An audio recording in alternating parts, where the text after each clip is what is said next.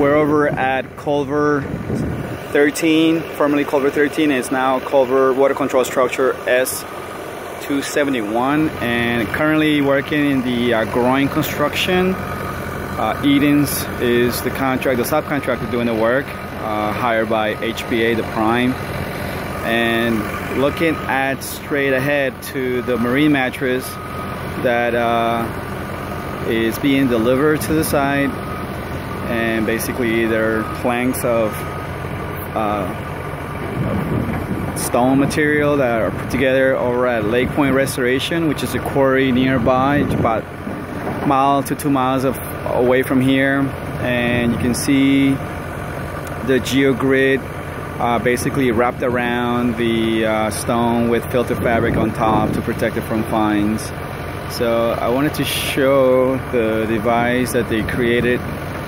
to unload these marine mattresses. Looks like some kind of I-beam hanging,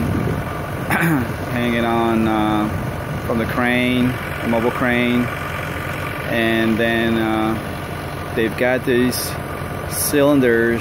that go across and they get rigged to the ends of it and then lifted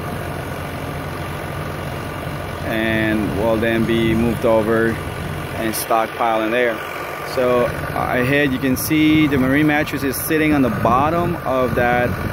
pile of rock, sort of like a bed to stabilize a rock. From what I understand, uh, the, the marine mattresses, which are at elevation 4 inside the canal, uh, they haven't really seen a whole lot of organics or silt or anything like that, so it's a, it's a good product uh, and it's holding up